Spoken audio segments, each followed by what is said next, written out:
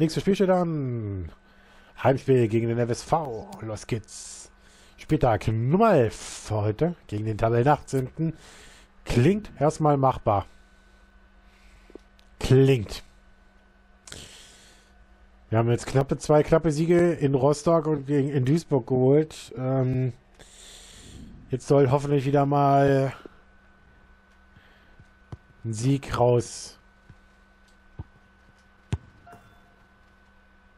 Ein höherer Sieg rauskommen oder ein klarerer Sieg rauskommen.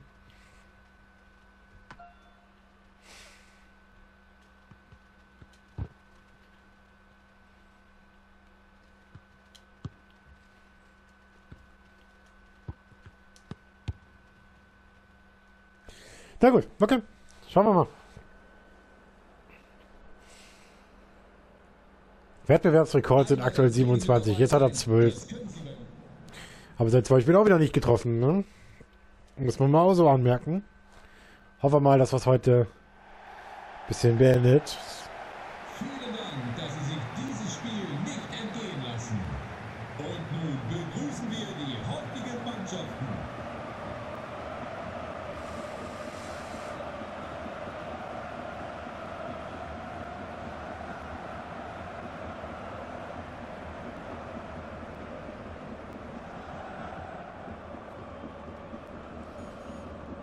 So, los geht's. Auftakt. Ich habe jetzt nicht die Vorspielvorschau gesehen. Ich denke, so passt das von der Aufstellung her. Mal schauen, ob wir es heute hinkriegen. Ja, wenn der Mama da mal durchgehen würde, den, den setze ich jetzt nämlich auf die linke Außenbahn. Ah, Ball verloren. Schade, ich habe gedacht, du kriegst es ja da noch irgendwie durch.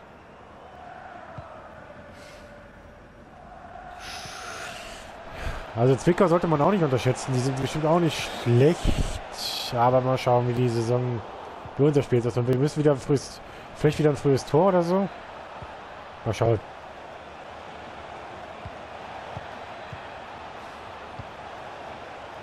Und Renault. Lukas.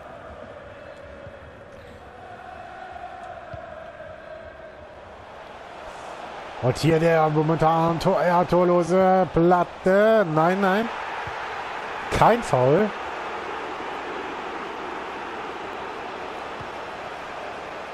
Zumindest sagt der Schiedsrichter da kein Foul. Ich habe aber auch keins gesehen. Und da ist er wieder. Endlich trifft er. Tor Nummer 13.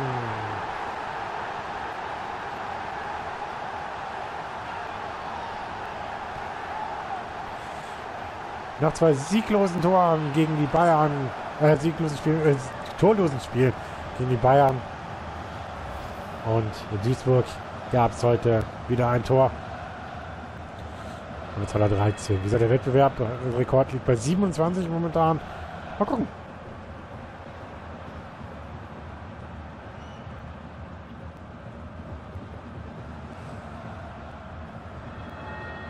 Tor für den FC Schalke 04. Die Nummer 9.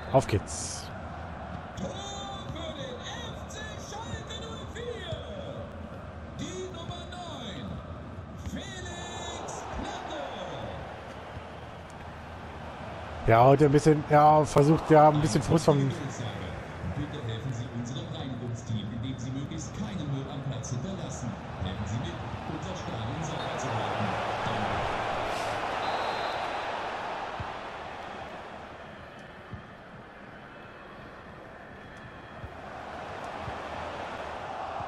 Ah, schade.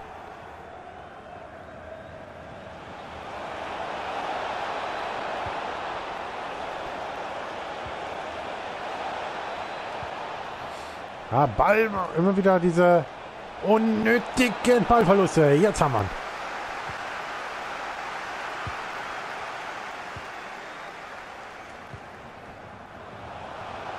Ja, abseits. Schade. Ich dachte mir jetzt, hm, der wird doch noch laufen.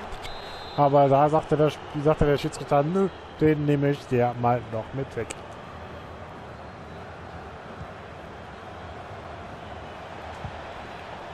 Schön gemacht.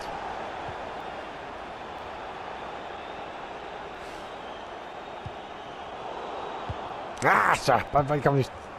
Nicht in die Spitze vorne durch. Hab ich.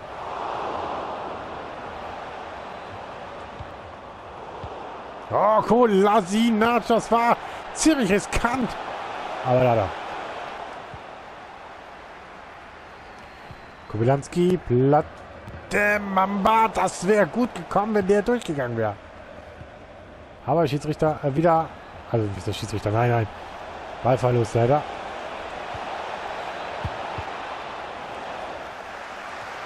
Krüger, Kobylanski, Platte.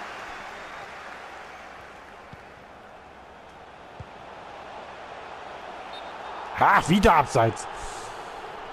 Momentan ein bisschen mehr auf Abseits, ein bisschen viel Abseits. Drei Stück jetzt hintereinander.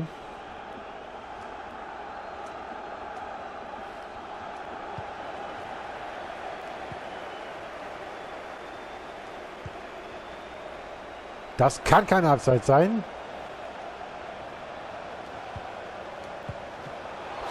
Und hier wird das Tor verhindert.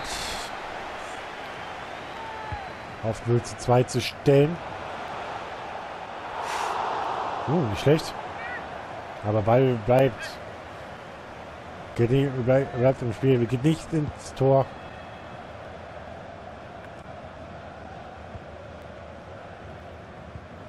Naja, mal gucken. Was noch. Dass hier jetzt wieder ein Tor zu 2-0. Also, wo gesagt, selbst 2-0 ist, hatten wir schon mal. Ein paar Mal.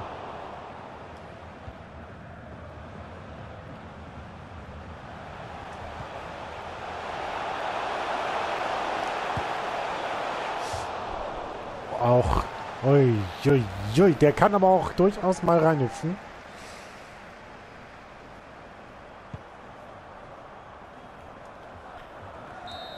Ja, und damit steht es dann zur Pause nur, nur 1-0.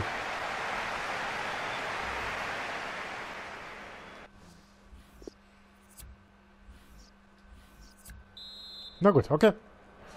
Schauen wir mal in der zweiten Halbzeit, was hier noch heute geht.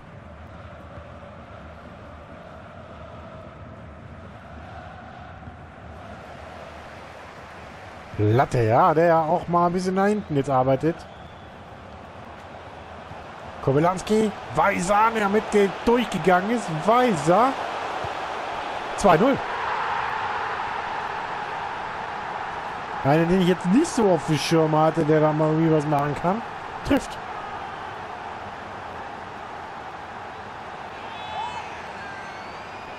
Mitchell Weiser. Ich hätte es Patrick Weiser gesagt, aber das ist der Papa.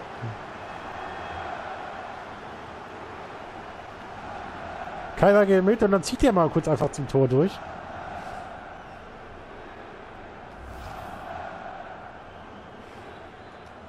Und macht dann das Tor. 2-0, 50.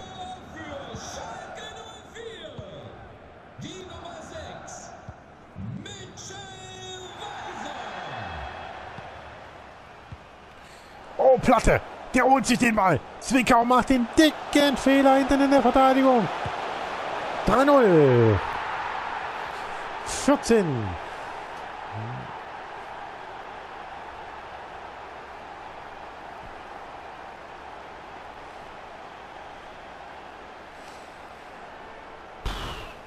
Sieht aus, das wird das mal wieder ein bisschen überzeugend sein jetzt. Ja, ich hätte auch querlegen können. Aber egal, ich wollte das Tor. Oder ja, aber sollte das Tor mal wieder machen. Dafür wird er bezahlt. Dafür kriegt er Geld.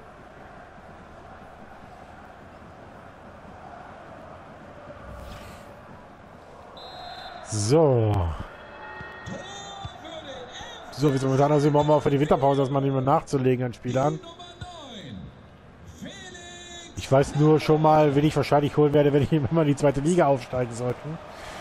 Der Torjäger vom Dienst. Aber das machen wir dann erst immer Richtung Winterpause gehen. Ich weiß nämlich nicht, ob ich die Verträge jetzt schon machen kann.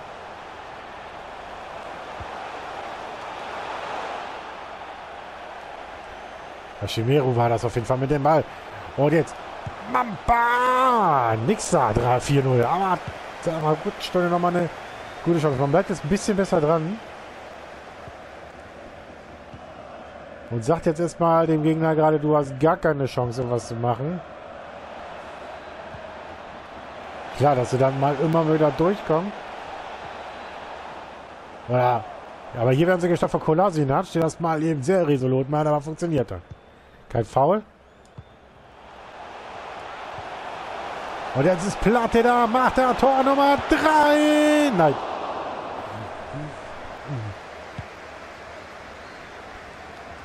Fast mit dem zweiten Hattrick diese Saison. Krüger jetzt mal, der den um diesen Konter unterbindet, also mit unterbindet.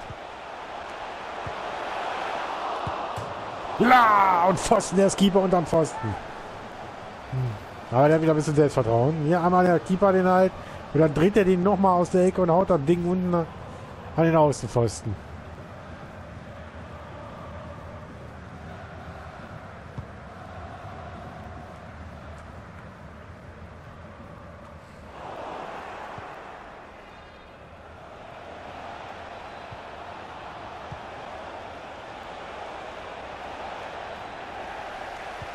Ja, Mama, der gut dazwischen gegangen ist. Und jetzt mit Tempo. Ah, war nicht gut.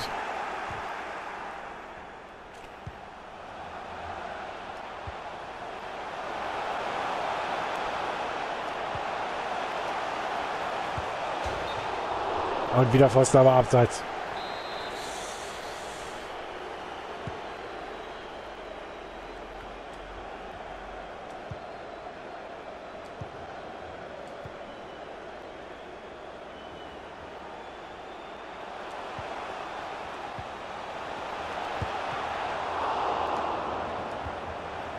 Eieiei, Platte aber die nächste dicke Chance geholt. Versuch, versucht die reinzumachen. Er will jetzt auch den.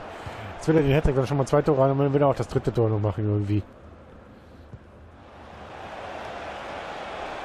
König.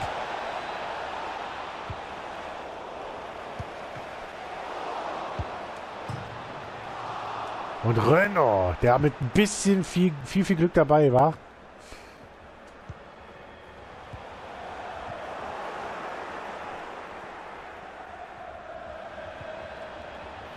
Schön hergeholt.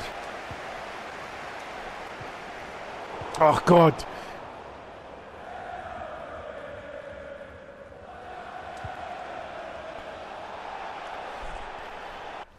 So, jetzt mal kurz auch den die Wechsel vollziehen.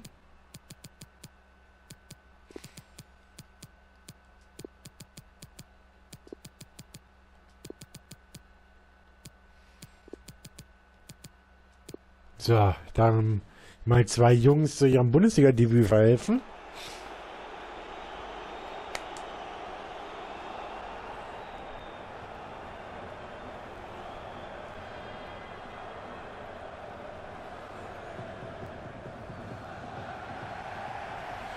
So, da kommen sie jetzt. Meier erstmal, die 15 neu.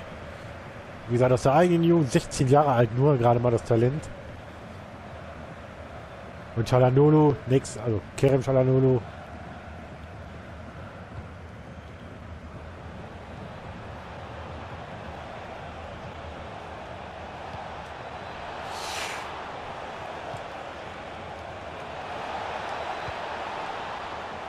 Aber Verlust. Ja, das wird nichts mehr mit dem Platte dritten Tor.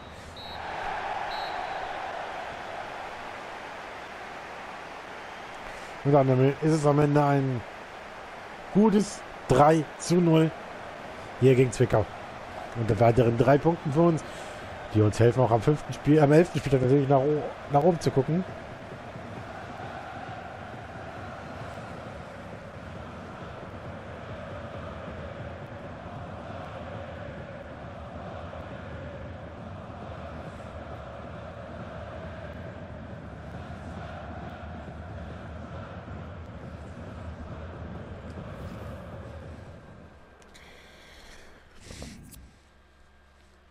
So, gut. Dann gehen wir mal kurz ins Interview.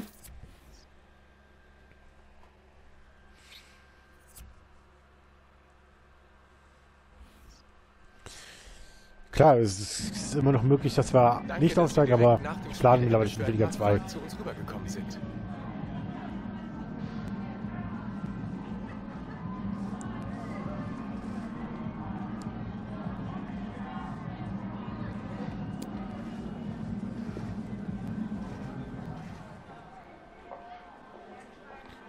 Das ist klar.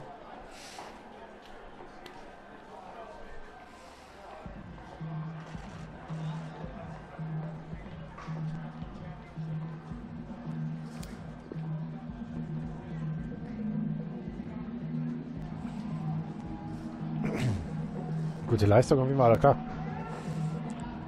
Sieg Nummer 7 war das jetzt, glaube ich, in Folge. 7 oder 8 sogar schon.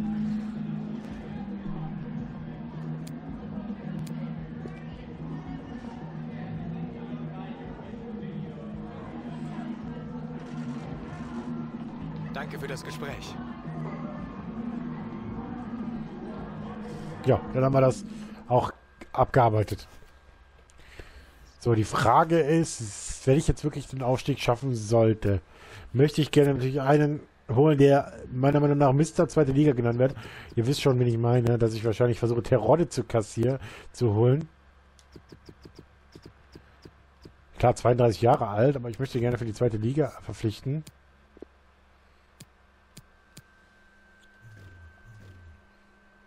Also zum Beispiel zu einem Hinblick auf die zweite Liga. Die Frage ist, ob die Hamburger den auch sagen, äh, gehen lassen.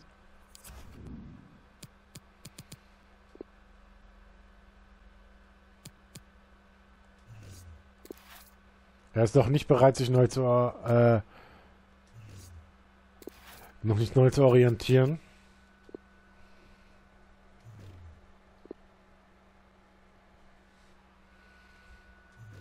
Ist momentan, glaube ich, in Dresden. Ne, nicht Dresden. Wo die ausgeliehen ist momentan. Die Spieler, die möchte ich noch ein paar verpflichten. Weindal wird wahrscheinlich nicht gehen. Ist gerade jetzt noch Sevilla gewechselt. Dann wird wahrscheinlich nicht möglich sein, jetzt zu holen. Gut. Ne, Krüger.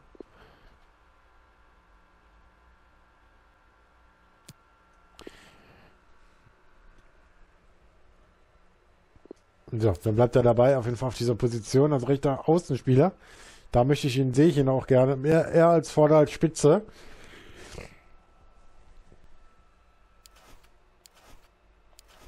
Gut, dann würde ich sagen, machen wir Feierabend. Wir sehen uns in der nächsten Folge wieder. Und dann geht's mit dem nächsten Spiel auch schon weiter. Bis dahin, tschüss.